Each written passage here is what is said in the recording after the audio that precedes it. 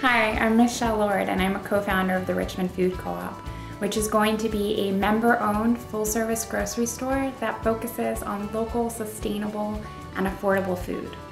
So what are the benefits of having a co-op in Richmond?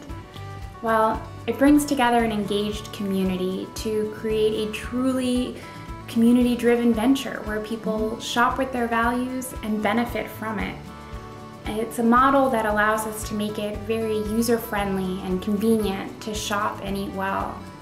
Essentially, food plus community equals co-op. In traditional grocery store settings, the grocery store defines the community, but with a cooperative, the community creates their store. And I see the co-op as an important step to ensuring that the Richmond community has more equitable access to sustainable food. Because we need these hybrid models that foster collaboration and that connect the missing dots in the food system so that we can support growers and vendors producing good food and make that food as affordable and accessible to as many people as possible in our community.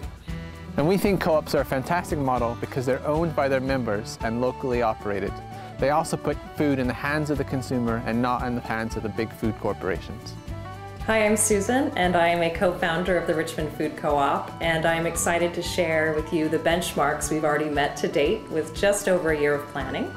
We are over 300 member owners strong and growing every day. We have a talented board of seven individuals, a passionate project manager, and a dedicated core of working committee members and volunteers, all striving to bring this business to fruition. We have a great social media following, and we have been recognized by national cooperative organizations for a job well done to date. So, Richmond, we are on our way. We recently received a $10,000 startup grant, and we need your help to match those funds. Put your dollars where your values are. Support our local food local farmers, and local economy. Support the Richmond Food Co-op.